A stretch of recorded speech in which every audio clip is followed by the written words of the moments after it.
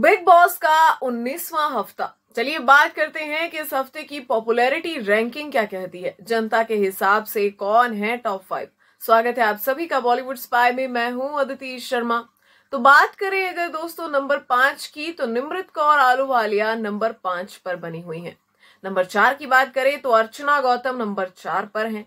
यहाँ पर देखा जाए तो अर्चना गौतम जैसे कि सबने कहा है कि अगर अर्चना ना हो तो बिग बॉस के घर में सन्नाटा हो जाता है और इस बात से सभी अग्री करेंगे। अर्चना नहीं तो कौन? तो यहाँ पे नंबर तीन पर है एमसी स्टैन उसके बाद नंबर दो की बात करें तो शिव ठाकरे लगातार नंबर दो पर बने हुए हैं।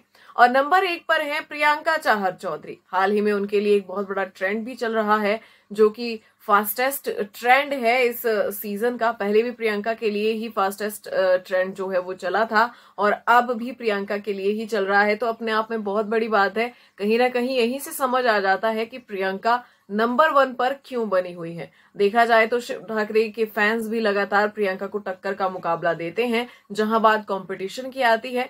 आप सभी को क्या है कहना? आपके हिसाब से कौन है टॉप फाइव कमेंट्स में ज़रूर बताइए। मिलते हैं नेक्स्ट वीडियो में।